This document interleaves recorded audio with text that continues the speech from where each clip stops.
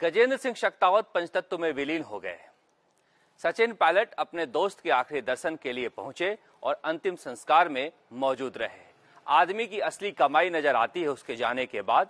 वही देखने को मिला, गज्जू बना और बंटी बना के नाम से जाने जाने वाले गजेंद्र सिंह शक्तावत के अंतिम विदाई में।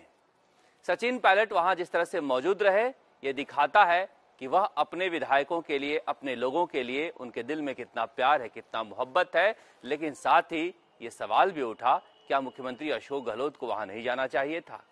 हालाँकि मुख्यमंत्री अशोक गहलोत कोरोना की वजह से बाहर बेहद कम निकलते हैं। वो कोरोना को लेकर बहुत ज़्यादा सावधानी बरतते हैं।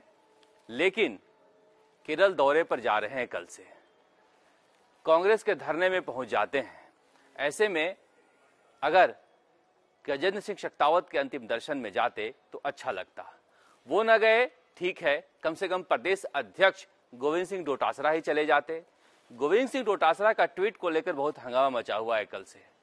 उन्होंने ट्वीट कर दिया कि चित्तौड़गढ़ ज़िले के वल्लभ नगर सीट के विधायक।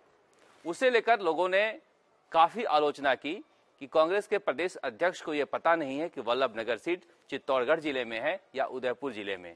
ये गलती हो सकती है, लेकिन जिस तरह से बिना किसी कार्यक्रम के ये मौजूद रहे, अगर वहाँ जाते तो अच्छा लगता। हालाँकि सहाड़ा में विधानसभा उपचुनाव की तैयारी के सिलसिले में रघु शर्मा चिकित्सा मंत्री वहाँ गए हुए थे, इसलिए राज्य सरकार ने उनको वहीं से भिलवाड़ा से ही बगल में भेज दिया। मगर अगर कांग्रेस की पूरी टीम वहाँ रहती तो एक अच्छा संदेश जाता, लेकिन यहाँ भी अशोक गहलोत खेमा और पायलट खेमा नज़र आया। हो सकता है कि सचिन पायलट के बेहद करीबी थी, थे, इसलिए बहुत सारे कांग्रेस के नेता जयपुर से वहाँ नहीं गए, लेकिन उम्मीद करनी चाहिए कि कांग्रेस ऐसे समय में एकजुट रहे।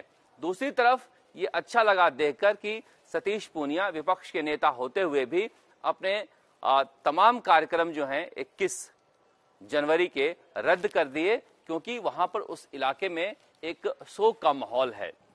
इसीलिए इस तरह के सवाल उठ रहे हैं क्या आपस में इतनी वैमनस्यता थी कि इस तरह के कार्यक्रम से भी कांग्रेस के बड़े नेता दूरी बनाए हुए हैं? जबकि उनके जो पिताजी थे, वे मेवाड़ के बेहद ताकतवर और कांग्रेस के बड़े नेता से थे गुलाब सिंह शक्तावत।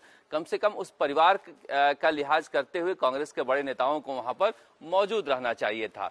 लेकिन जो भी हो जिस तरह से सचिन पायलट और उनकी पूरी टीम वहाँ पर मौजूद रही, एक तरह से सचिन पायलट के जो समर्थक हैं, उनमें भी एक भरोसा पैदा होता है कि सचिन पायलट हर घड़ी में, हर समय में उनके साथ मौजूद रहेंगे।